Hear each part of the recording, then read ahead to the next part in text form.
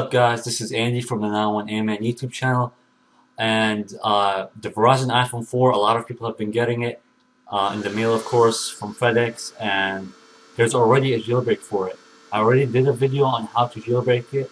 Uh, you can click on the video right now and it'll take you to my video. It's the exact same process. Just make sure your Verizon iPhone 4 is up to date uh, with the latest firmware that it came with and just go to this website greenpoison.com and you'll be good to go. Download it. It's available for Mac, Linux, Windows, and if you guys need help, uh, of course, I don't have a Verizon iPhone 4.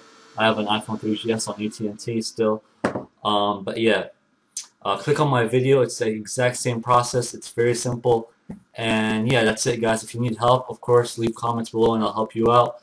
And I hope you guys enjoyed this video. Please thumbs it up if you thumbs it up, thumbs up if you enjoyed it. Subscribe if you're not. Thanks for watching. Peace.